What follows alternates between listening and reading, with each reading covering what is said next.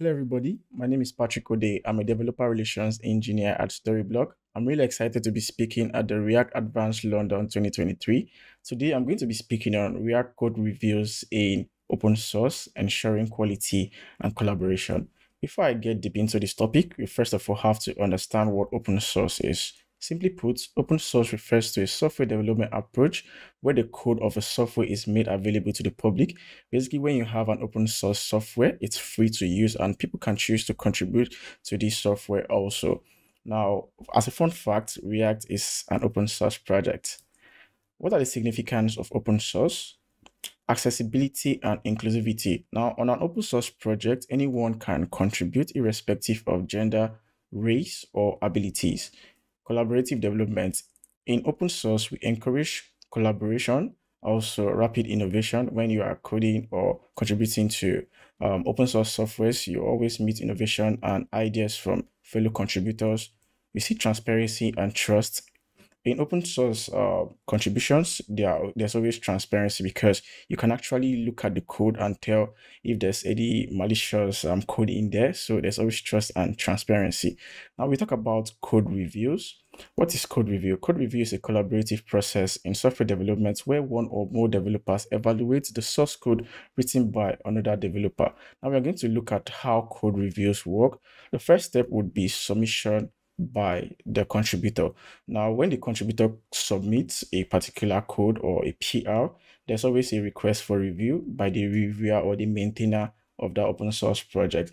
Now, this would undergo evaluation, which would now return um, feedback to the contributor.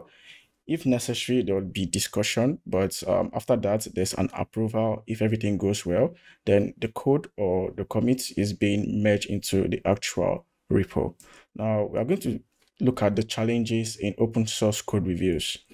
The first is language barriers. Now, this is really common because in an open source project, you have different persons from different parts of the world with different languages contributing. So communication might be an issue.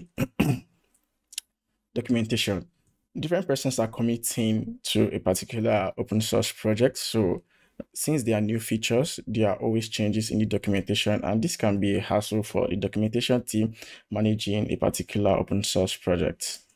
Look at review backlog. This goes to the reviewers because there are many PRs that comes with um, a popular open source project. For example, React, you have a lot of PRs there that are being looked at by the reviewers, and this takes a lot of time and can be a hassle or pain. Now we look at best practices for effective code reviews. The first is having clear objectives. It's also good or it's important to define the goals and expectations of the code review, such as finding bugs or improving the code quality in this particular sprint review. Now, review the code and not the person. This is very important because uh, we have to focus on the code as a reviewer and not the author. So we keep feedback constructive and also respect and emphasize on improvements rather than criticism. We look at the use of code review tools. Now it's important to leverage code review tools that streamlines the process, making it easier to track changes and discussion. So we're going to look at those tools in the next slide. So as you can see from the GIF here, you already know because most of them are, or all of them are popular. The first is linters. Now, the most popular linter I know, or we all know, is ESLint. So, what's the use of the linter? Linter scan for code um, issues such as syntax error, style violation, and potential bugs. Also, we can leverage the use of code review platforms like GitHub, GitLab, Bitbucket, and these tools provide um, built-in code review tools or features and you can integrate them with other tools.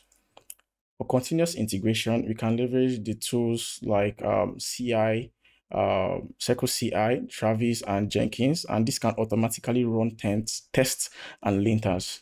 Now, measuring success. How do we measure success in open source code reviews. Now you can use some KPIs or some key metrics. I'll just leave one here. So for code review and completion time, if you have a high number of devs actively participating in a code review, there will be shorter amount of time for that particular code review. So the higher number of devs reviewing a particular code, the better.